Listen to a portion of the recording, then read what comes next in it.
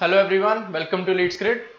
Today we are going to discuss this LRDI set. Just read out the statement and try to solve the set.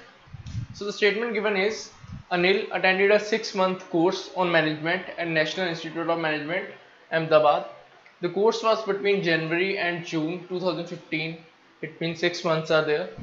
As part of the course, he had to take six modules in marketing, three modules in economics, two modules in finance, and one module in operations. It is also known that his score in any module is either of 60, 65, 70, 75, 80 or 85. He took one module in January, two modules in February, three modules in March, three modules in April, two modules in May and one module in June. It is also known that he did not take more than one module on any subject in any month. He took the module on operations in March and he did not take any module on economics in March.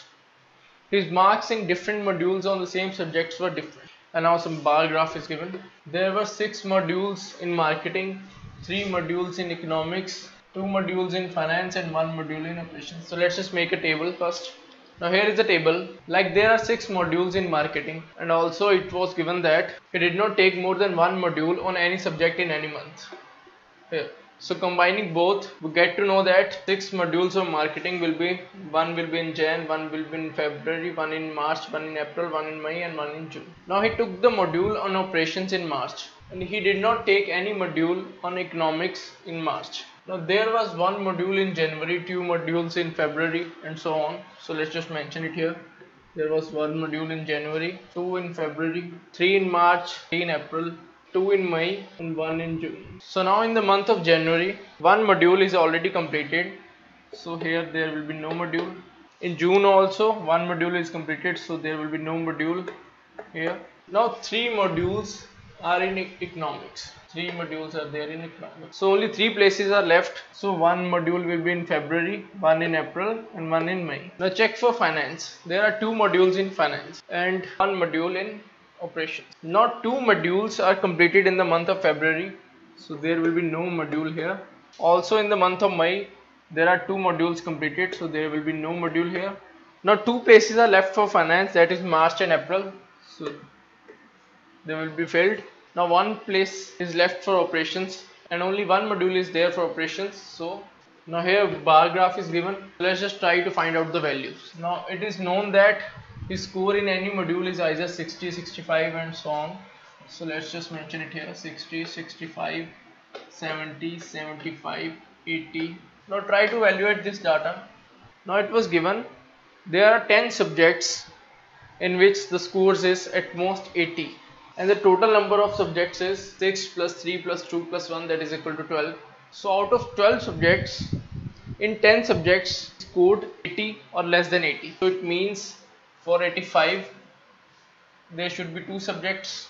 Also for at least 65 there were 11 subjects. So it means for 60 there will be one subject. Because there is a total of 12 subjects. 11 subjects have at least 65 marks. So only one subject will be there who is having 60 marks. Now at most 65 is 4 there are 4 subjects which marks is at most 65 at most 65 means this plus this and it is given to be 4 so the value of 65 will be equal to 3.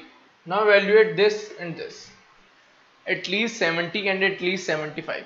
There are 8 subjects in which he scored at least 70 and there are 7 subjects in which he scored 75.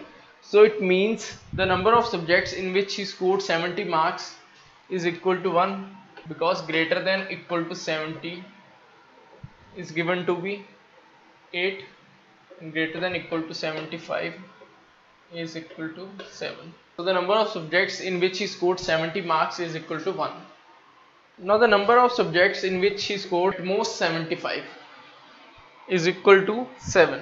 At most 75 means this plus this plus this plus this. And the value given is 7.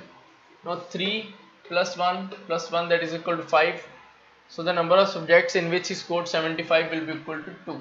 Now 2 plus 2 plus 1 plus 3 plus 1 is equal to 9 so the number of subjects in which he scored 80 will be equal to 3 so this is a table formed. Now let's just move to the questions. Which of the following is the maximum marks he could have scored in the month of April May and June? So it is April May and June. Now there are six modules in the marketing. So it means one value will be 85, one is 80 and one is 75 in the marketing column because we need to maximize the total number of marks in the month of April, May and June. The values for the module marketing in April, May and June will be 85, 80, 75. Now for economics, this value and this value, the maximum marks he could have scored in economics will be 85 plus 80 because two 85s are present so we used 185 here and 185 here there are three 80s present used 180 here and one here. Now check for finance. There is one module in the month of April. The maximum marks he could have scored in the finance in the month of April will be equal to 80 as no more 85 is present 285 are already covered. So here the value will be 80 now add all these values it will be equal to 485 that will be our answer which is second part. Let's move to the next question now the second question states which of the following must be his marks in one of the modules in finance if it is known that he scored 80 in the module on operations. There were six modules in the marketing. 160 will be occupied here 165 170 175 180 and 185 all will be occupied in the marketing.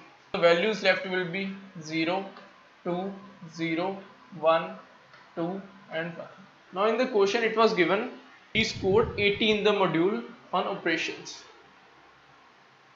So one more 80 is removed.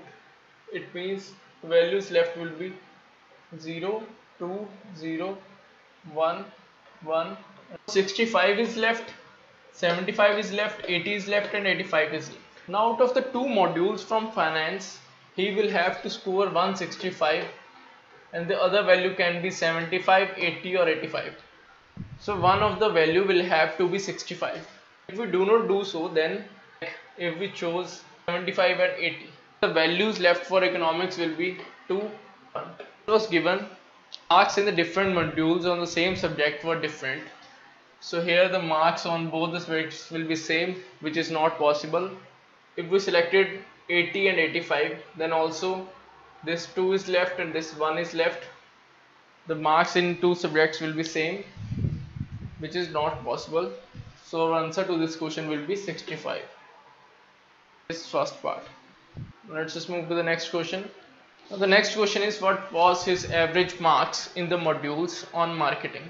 There were six modules in the marketing and his mark should be the average of 60 65 70 75 80 and 85 the average will be 72.5 that will be our answer which is b part. Which is b part. So this is it for this particular set. If you have any doubt in this set you can ask in the comment section below. I hope you like the video. Like share and subscribe to our youtube channel for regular content. Thanks and happy learning.